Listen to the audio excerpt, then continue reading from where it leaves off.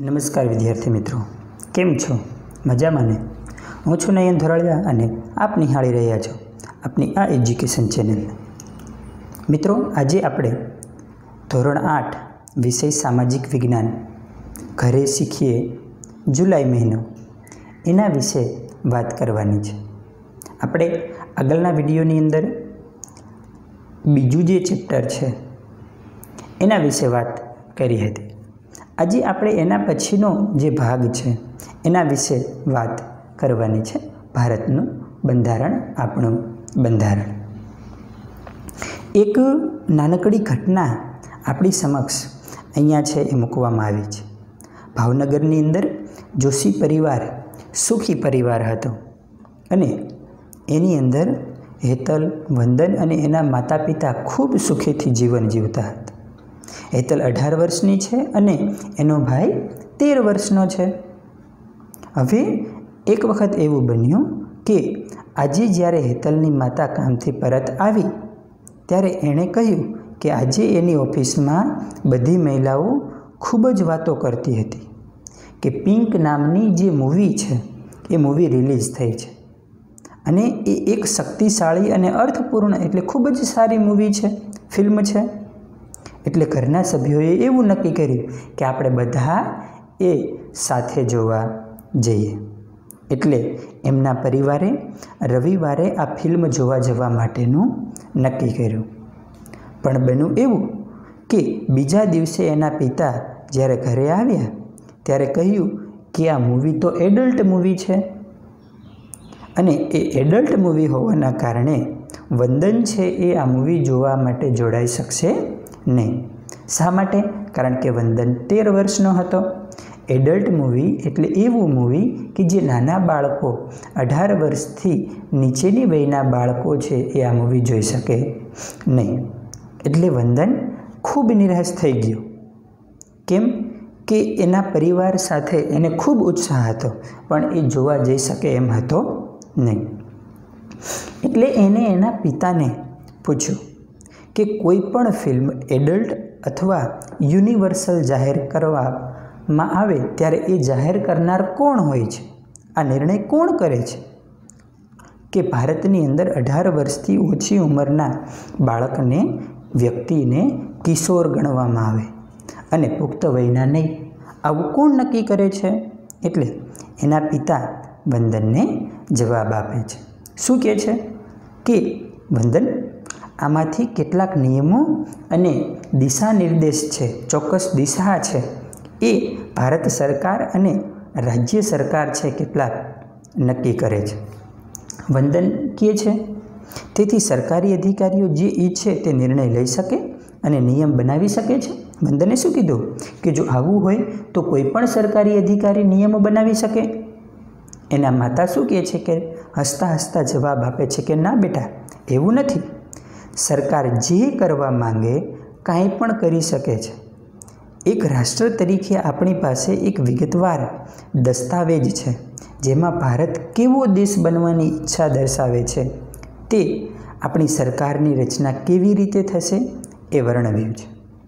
એટલું જ નહીં, પરંતુ આ દસ્તાવેજમાં વિવિધ પ્રક્રિયાઓની વિગતો પણ આપવામાં આવી છે, જેને દેશની સરકારો નિર્ણય લેવા, નીતિઓ અને નિયમો ઘડવા માટે અનુસરે છે. એટલે એના માતાએ શું કીધું? કે વંદન નહીં, એવું નથી. એમ કીધું કે ના, એવું નથી. સરકાર ધારે એ પ્રમાણે પોતાની રીતે કોઈ નિર્ણય સ્વતંત્રપણે એમનામ લઈ શકતી નથી. એ લોકોને નિયમોનું પાલન કરવું પડે છે. અને એ નિયમોનું પાલન કરવા માટે એક આપણો એવો ચોક્કસ એક દસ્તાવેજ છે કે જે આ પ્રક્રિયાઓની દરેક વિગતો એની અંદર પૂરી પાડવામાં આવી છે. જે સરકારને જુદા જુદા નિર્ણયો લેવામાં નીતિઓ ઘડવાની અંદર એ દસ્તાવેજનું અનુસરણ કરવું પડે છે. હેતલ કહે છે, હા, અમે આ વિશે અમારી શાળાની અંદર વાંચ્યું છે. આપે પણ સમજ્યા હશો. એ દસ્તાવેજ એટલે આપણા દેશનું બંધારણ. ભારતના બંધારણની અંદર વાત કરીએ તો કોઈ પણ સંગઠન, કાર્યાલય, પક્ષ અથવા સરકારને ચલાવવા માટે. નિયમોના સમૂહનો વ્યવસ્થિત સંકલન કે જેને બંધારણ કહેવામાં આવે છે. કોઈ પણ રાષ્ટ્ર હોય, કોઈ સંગઠન હોય, કોઈ રાજ્ય હોય, એને સારી રીતે ચલાવવું હોય, કોઈ સંસ્થાને પણ જો સારી રીતે ચલાવવી હોય, અરે ત્યાં સુધી તો વસ્તુ અલગ છે. તમે જે શાળાને અંદર અભ્યાસ કરો છો, એ શાળાને પણ જો સારી રીતે ચલાવવી હોય, તો એના ચોક્કસ નીતિ નિયમોની જરૂર પડે છે. અને એ નીતિ નિયમો એટલે જે તે શાળાનું બંધારણ, જે તે રાજ્યનું બંધારણ, જે તે રાષ્ટ્રનું બંધારણ. નિયમોનો સમૂહ જે દેશને ચલાવવાની રીત વ્યાખ્યાયિત કરે છે. આ બંધારણ શું છે? તો એ એવા નિયમોનો સમૂહ છે કે જે આપણા દેશને કેવી રીતે ચલાવવું, એ નક્કી કરવાનું કામ કરે છે. એને આપણે રાષ્ટ્રનું બંધારણ તરીકે ઓળખીએ છીએ. બંધારણ લેખિત અથવા લખાણ વગરના સ્વરૂપનું હોઈ શકે એટલે લેખિત અથવા તો અલિખિત બંધારણ હોઈ શકે. જો કે ભારતનું બંધારણ છે એ લેખિત સ્વરૂપનું અને વિશ્વનું સૌથી મોટું લેખિત બંધારણ એ ભારતનું બંધારણ છે. રાષ્ટ્રનું બંધારણ એના નાગરિકો વતી લખાયેલું છે. અને તે બંધારણમાં લખાયેલા નિયમો, માર્ગદર્શિકા અને પ્રક્રિયાઓ સાથે તમામ નાગરિકો, સરકારો અને કચેરીઓ બંધાયેલા છે. આપણું જે બંધારણ છે, એ આપણા વતી લખાયેલું છે, કારણ કે એ જે આપણે પ્રતિનિધિઓ નક્કી કરેલા અને એ લોકોએ પછી આપણું નેતૃત્વ કરી અને આ બંધારણની રચના કરી છે. અને એની અંદર એને જે નિયમો છે, માર્ગદર્શિકા છે, એ પ્રમાણે દરેક નાગરિકે સરકારોએ, કચેરીઓએ પ્રમાણે અનુસરણ કરવું પડે છે. એ પ્રમાણે આપણે બંધાયેલા છીએ. બંધારણ એ રાષ્ટ્ર ચલાવવા માટેનો સર્વોચ્ચ દસ્તાવેજ છે. આપણું બંધારણ એ સૌથી ઊંચો આપણા દેશનો દસ્તાવેજ છે. અમારા બંધારણનો વિકાસ વિસ્તૃત અને લાંબી વિસ્તૃત અને પ્રક્રિયા દ્વારા કરવામાં આવ્યો હતો. જેમાં ઘણા નેતાઓ, સ્વપ્નદ્રષ્ટાઓ અને નિષ્ણાંતો ભેગા થયા અને આપણા રાષ્ટ્ર અને કાર્યને નિર્ધારિત કરવા અને વર્ણવવા માટે આવ્યા હતા. આપણા દેશનું જે બંધારણ છે, એની અંદર અનેક એવા મહાન વ્યક્તિઓ, તજજ્ઞો, સ્વપ્નદ્રષ્ટાઓ, વિદ્વાનો એ આપણા દેશના બંધારણની રચના કરે છે.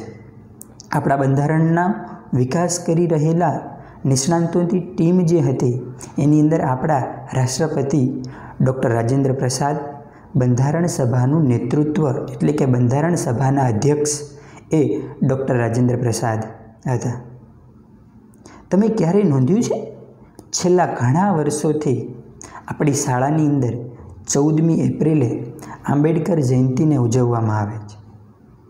એ આંબેડકર જયંતિને કારણે ઉજવવામાં આવે છે અને બંધ રહી હતી. હા, આ ડૉક્ટર બાબા સાહેબ આંબેડકર એ મોટી ટીમમાં નાની ટીમનું નેતૃત્વ કરી રહ્યા હતા. જેમાં ખરેખર ભારતીય બંધારણની રચના કરવાની ભૂમિકા હતી.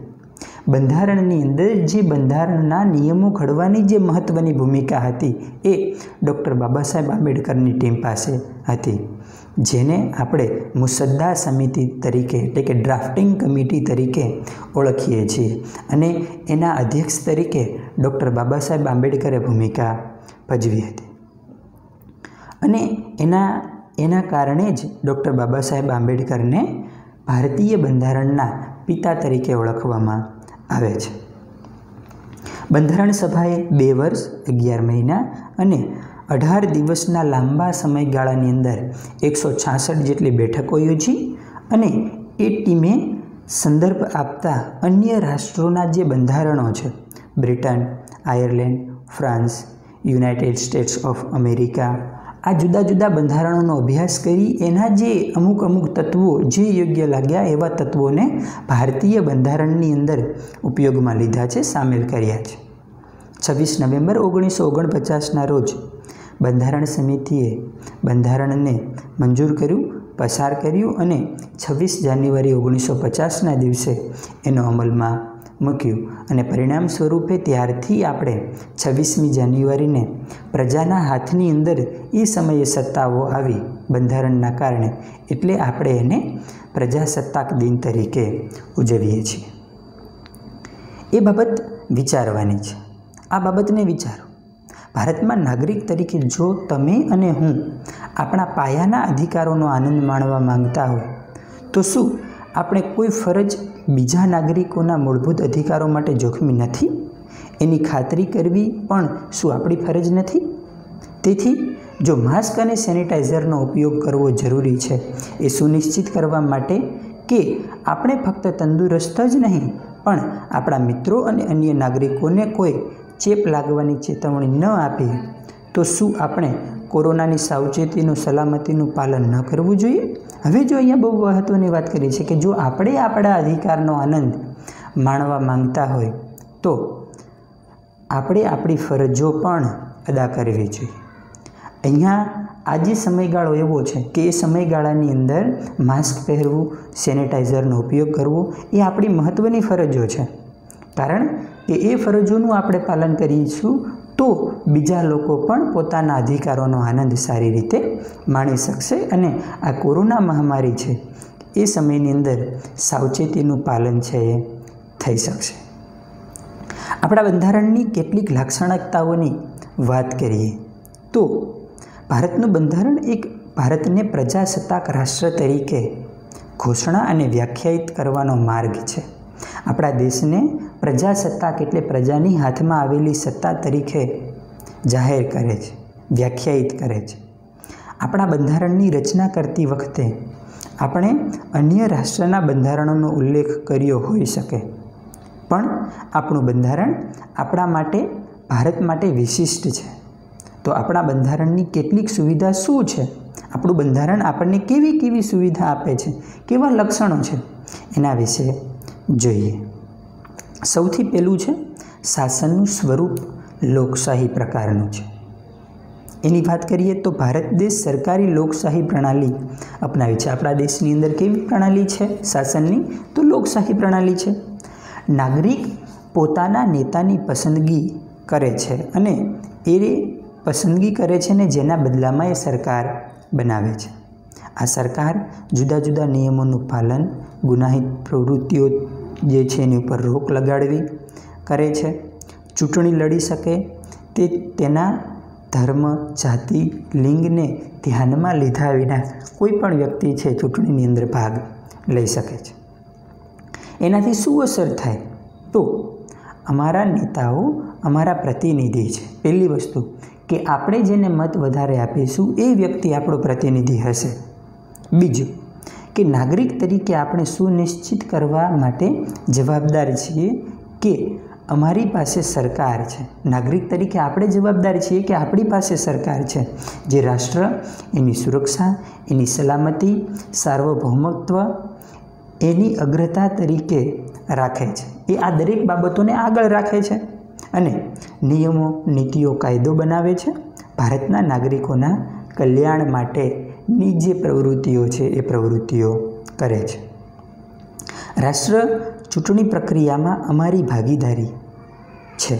આપણી ભાગીદારી છે દેશની અંદર ચૂંટણીની પ્રક્રિયાની અંદર. કારણ કે મતદાનની અંદર આપણે મત છે આપીએ છીએ. દર પાંચ વર્ષે સામાન્ય ચૂંટણી થાય છે અને અઢાર વર્ષથી વધુ વયની ઉંમરનો વ્યક્તિ મત આપી શકે છે.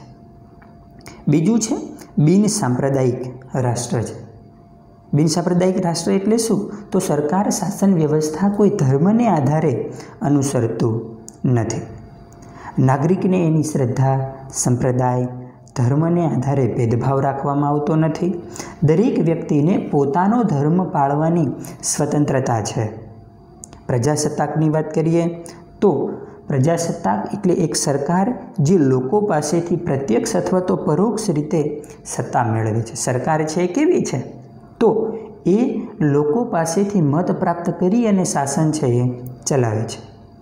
અહીંયા ચૂંટાયેલા પ્રતિનિધિઓ ફક્ત સરકાર બનાવી શકે છે. ચૂંટાયેલા પ્રતિનિધિઓ નાગરિકો જાહેર સેવાઓ પૂરી પાડે છે. લોકપ્રિય હોય છે, પણ જાહેર સેવકો તરીકે ઓળખવામાં આવે છે. આ નેતાઓ એવા છે કે લોકપ્રિય છે. પણ કહેવાય શું? તો કે એ જાહેર સેવક છે.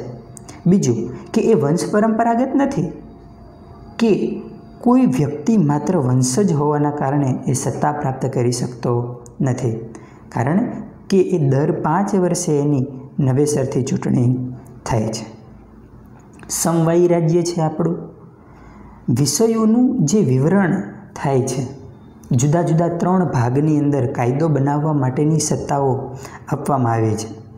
એની અંદર રાજ્યને કેન્દ્રને અને સંયુક્ત રીતે સત્તાઓ છે, એના દ્વારા કાં તો કેન્દ્ર કાયદા ઘડે, અમુક વિષયો ઉપર રાજ્ય કાયદા ઘડે અને અમુક વિષયો ઉપર બંને છે સંયુક્ત રીતે કાયદાઓ ઘડી શકે છે. આ ત્રણ સૂચિ છે, સંઘની, રાજ્યની અને સંયુક્ત સૂચિ. કેન્દ્ર સરકાર દ્વારા ઘડવામાં આવતા કાયદા સમગ્ર રાજ્યને લાગુ પડે છે. રાજ્ય સરકાર દ્વારા ઘડવામાં આવતા કાયદા રાજ્યને લાગુ પડે છે. જ્યારે સંયુક્તની અંદર આવતા કાયદા છે એ રાજ્ય અને જે કેન્દ્રને લાગુ પડે છે. ઉદાહરણ તરીકે, સંરક્ષણ એ દેશની સલામતી છે, તો એ સંઘની સૂચિની અંદર છે, કેન્દ્ર સરકારની હસ્તક છે. એ અંગેની નીતિઓ કેન્દ્ર સરકાર નક્કી કરે છે. શિક્ષણ સંયુક્ત સૂચિમાં છે, એટલે એની મોટી સત્તાઓ રાજ્ય સરકાર પાસે રહેલી હોય છે. મૂળભૂત અધિકારો. ભારતનું બંધારણ છે એ તમામ નાગરિકોને કેટલાક ચોક્કસ મૂળભૂત અધિકારો પ્રાપ્ત કરાવે છે. જો કોઈ કારણસર નાગરિકના મૂળભૂત અધિકારને ધમકી આપવામાં આવે એટલે કે અધિકારનું પાલન ન થાય, રક્ષણ ન થાય, તો વ્યક્તિ સીધા ભારતની જે સુપ્રીમ કોર્ટ છે, એ સુપ્રીમ કોર્ટની અંદર જઈ શકે છે, ફરિયાદ કરી શકે છે. ભારતીય નાગરિકોના મૂળભૂત અધિકારોની બાંહેધરી એ છે કે દેશના રહેવાસીઓ જ્યાં સુધી તેઓ દેશની અંદર રહે છે ત્યાં સુધી એ શાંતિપૂર્ણ જીવન જીવી શકે વ્યતીત કરી શકે છે. મારો આ વીડિયો પૂરેપૂરો નિહાળવા બદલ આપ સર્વનો ખૂબ ખૂબ આભાર. Thank you thank you very much once again હજુ સુધી પણ જો આપે આ યુટ્યુબ ચેનલને સબસ્ક્રાઈબ ન કરી હોય, તો આવા અવનવા વિડીયોને આપની યુટ્યુબ ચેનલ ઉપર નિહાળવા માટે આજે જ આ યુટ્યુબ ચેનલને સબસ્ક્રાઈબ કરો. Thank you thank you very much